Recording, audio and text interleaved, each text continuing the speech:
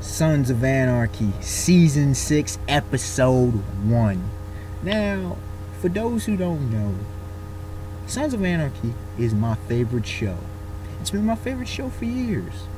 Y'all don't know how stoked I am about this season. I've been waiting for this season for months. And for those who don't know about SOA, go watch the show from Season 1, Episode 1.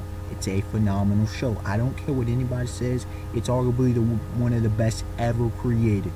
Now, for those who are caught up to date, yeah. For those who haven't seen this episode, go watch it. This opening right here, best of the best they've ever had on SOA. Hands down. Hands down. It was so jam packed. Man, let's begin with the beginning of this episode, right? I love how it started with the um the intelligent, you know, I love how it started with Jax writing out his advice to his sons. It shows once again that he's not just a thug, he's not just a mindless killer or anything like that. He's actually a modern outlaw and he's a thinker. He's writing out his advice to his sons and saying, you know, I can't tell you how to live your life. You got to make choices.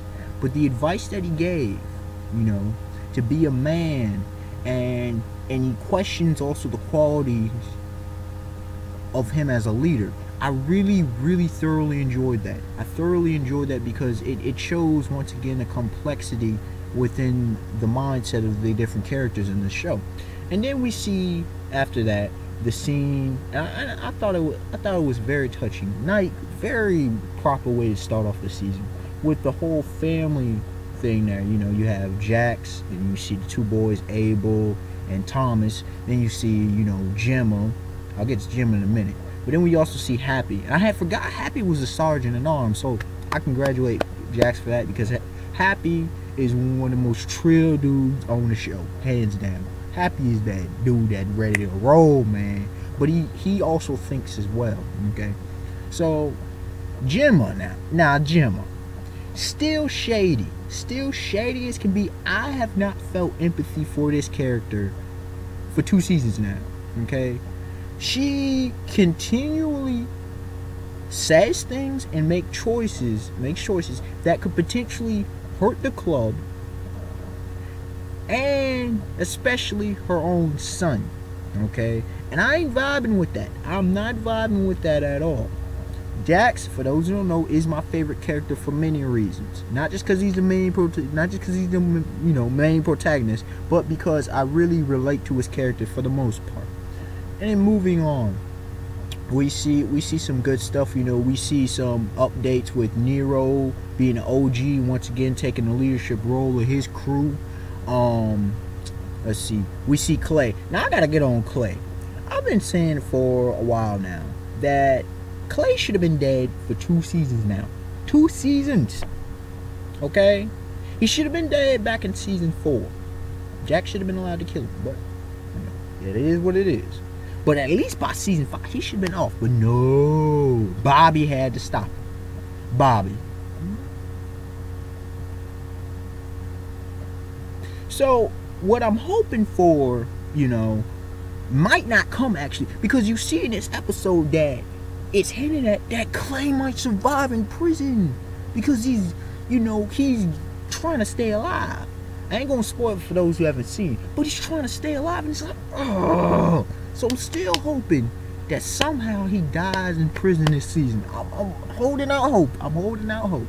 Now, as far as in Bobby goes, I really like what they did with his character. Um, wasn't even thinking about it. I, I, for one, I was thoroughly, thoroughly glad that Bobby quit from being VP last season because his his some of his advice to Jax it it didn't fit with the time. It was like Tom Hagen at the time that um Michael Corleone switched to uh Vito Corleone. Okay, before he switched back to Tom Hagen. His, advice just wasn't vibing with the circumstances at the time, okay? So I'm really loving, I really love, and especially in this episode, it showed once again why I love Chibs, why I love Chibs being the VP. He's always been in Jax's corner, and he gives that advice, but he he's willing to do what got to be done. Period. Okay, he don't play that. That scene with Juice, excellent, excellently done.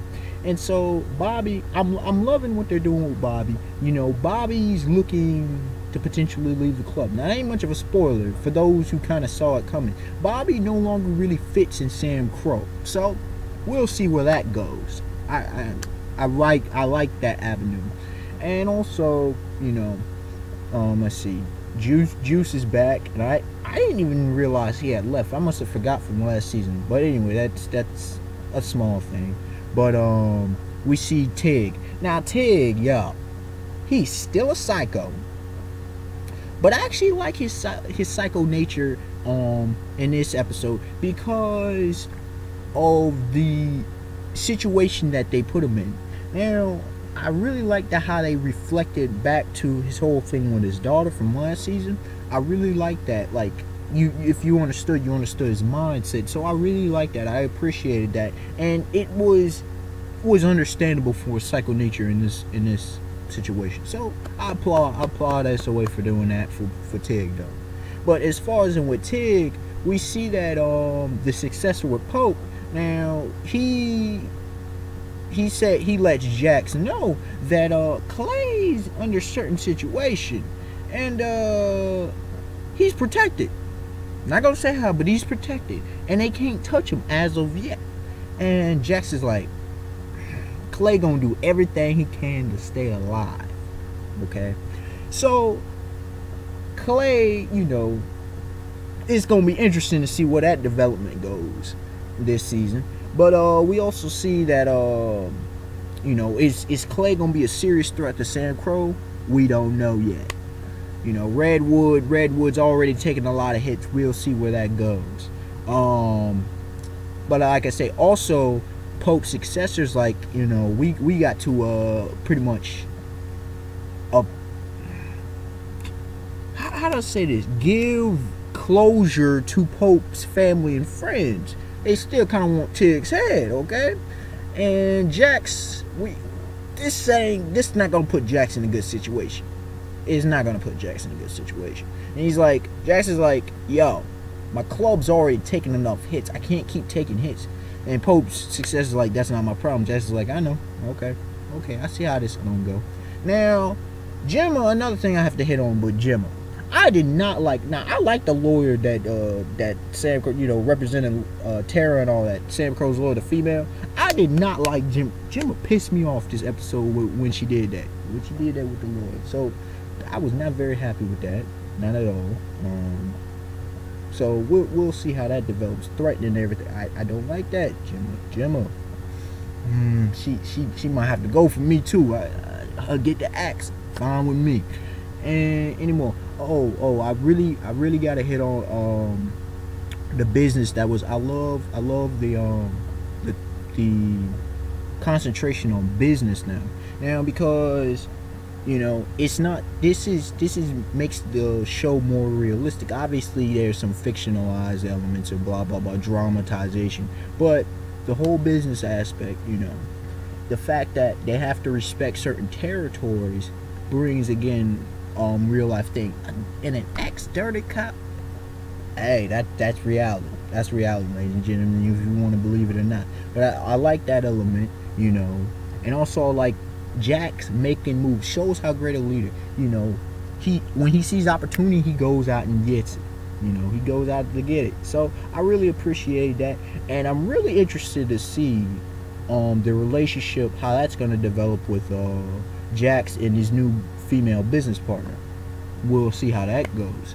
Um, any anybody else besides I get to one last point. I think uh, the only other real point that I gotta get to. Oh, and it's oh, it's nice back to see uh, Wayne Unser again. Nice, nice always to see him. You know, um, Nero's kid that was cool. Two points, two points left. Um, the first one is with Tara. Now Tara, yo, I've had an off and on kind of liking, somewhat disliking Tara and whatnot, but after this episode. Y'all watch this episode. How can you not love Tara? She was, especially that last scene she was in, she was a G dog. She was so trill.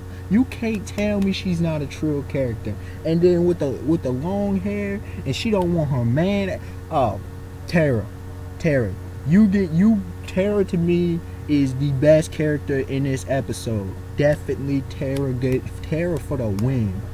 Another point that I gotta add in this one, I feel so bad for Otto. I ain't gonna lie. I was and by him last season, but after what he did, okay. I feel so bad for Otto. Has consistently been be get that consistently been getting screwed over pretty much this whole series, and I have to also highlight. You know, I, I feel bad for him, but you know that again that shows reality of the situation that Sam Crow, as well as he is in. But I gotta hit back to Chibs and the VP status. Now, I've been saying this. Besides Opie, I couldn't see a better VP choice, vice president choice that Jax could have chosen. Bobby, I understood why he did it, but Bobby, like again I said, Bobby too old. You know, he's got his his alliances are questionable where he lies. It wasn't about the club so much as it was about protect. How do you protect? How do you protect Clay for all that he's done? You got to pay the piper. This why I'm gonna be pissed off. If they don't, they got to ice. They got to off. They got to off. They got to ice Clay. Cause you got to pay the piper. You got to pay for what you've done. You got to pay for your terrible choices. Okay. And last but not leastly, though the way the way they did this with that kid throughout the episode. Now I, am pretty sure it was more symbolic, but the fact this is why I love SOA. They deal with the real life, real world issues. The whole thing about that kid, the notebook. Y'all saw the notebook. The the kid, he come to backpack. And I had seen stuff before, you know, because I was Googling it. I, I didn't happen to catch it on FX. But I saw the things, they talk about school track. This dude, he ain't bringing a pistol. This dude bringing about a tech, he bring out a Tech 9 and Uzi, ladies and gentlemen. That dude coming out some Grand Theft Auto status. I'm like, dang. When I saw that, I'm like, I saw bring out, dang. Then he come in, shoot up the classroom. That that was that was a that was a phenomenal addition.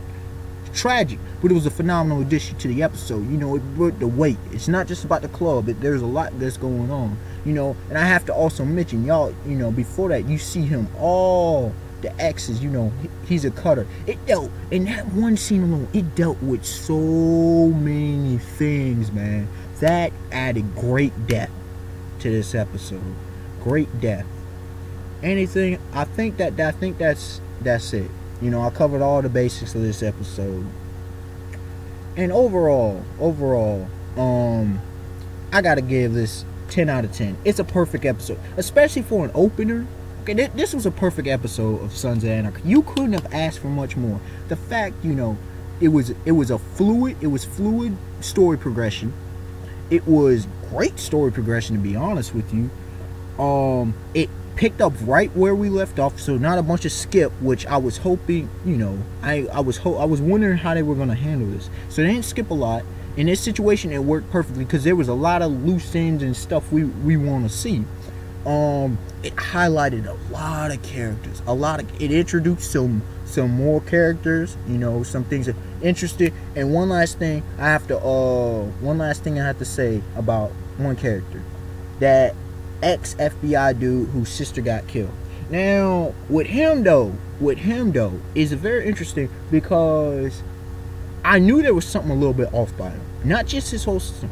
We see, yo, this episode, the dude's juicing. He's using H. And if you don't know what I'm talking about, go watch the episode. So I thought that that right there was another, besides the, the, the school incident, school shooting, and besides, you know, that right there, again, you know, applause. And yeah, adding Wendy. There were so many elements that they put together excellently, intricately put together. You know, Wendy and everything. There was so many elements that um it was just done perfectly. It was done perfectly. You you can't ask for a much better season opening than what we got here in this episode. And I expected one to like, comment, subscribe. Tell me y'all thought yes, I will be reviewing the whole season of SO this whole season of SOA and probably seasons more if they uh continue, which I'm hoping because I love this show so much. And y'all have a beautiful day, beautiful night. Peace.